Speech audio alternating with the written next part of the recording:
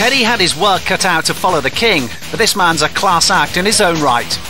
I can only be me, and that's what I'll do to the best of my capabilities. And we'll see what happens from there. He was that type of player who could drop in the hole and, and link the play and knit things together very well. Plus, he could score a goal in two great feet, Teddy. I mean, he was a terrific player, Teddy Sheringham.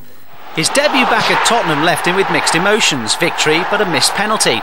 And though the fans were sniggering, it was Teddy who would have the last laugh. Dix with the cross, Sheringham! Teddy Sheringham scores his first goal for Manchester United. Disaster for Roy Keane at Elland Road, a cruciate ligament injury that would keep him out for the season. Definitely heard something snap, and I knew it wasn't my shin pad. I knew it was something in my leg, you know.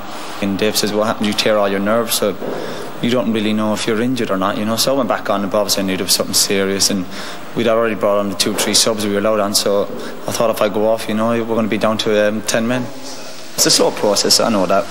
As I said, mentally, that's the hard part, knowing that I won't be kicking the ball for you know five, six, seven months.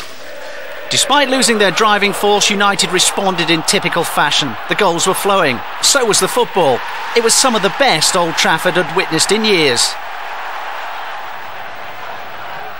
Beckham's kick, Sheringham!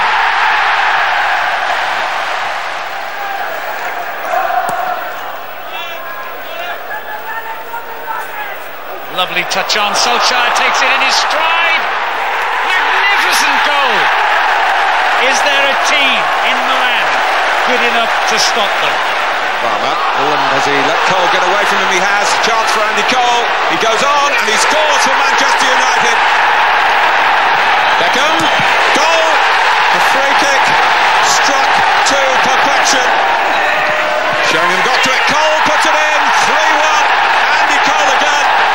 As the season approached the turn of the year, the Reds slipped into overdrive. They looked unstoppable.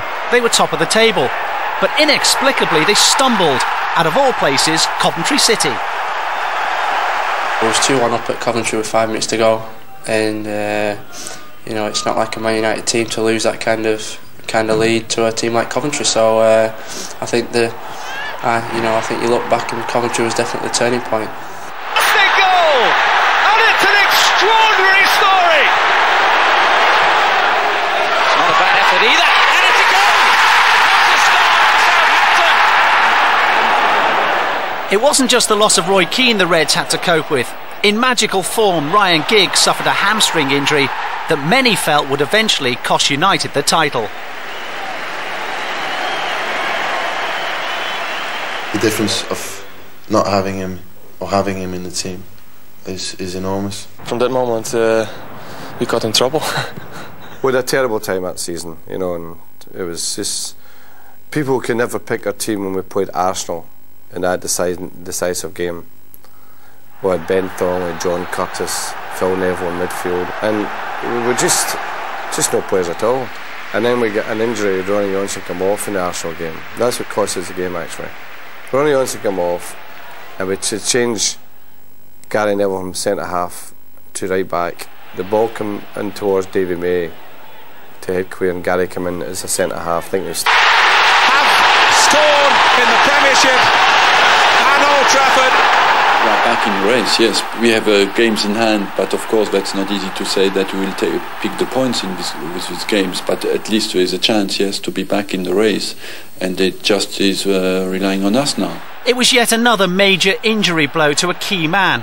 Peter Schmeichel limping out just when the Reds needed him most. I defy any team to play to its top level without the four best players. You've got to admire the um, the willingness to, to stick in there. I mean, like I say, everybody everybody else was saying it was all over come sort of end of February time.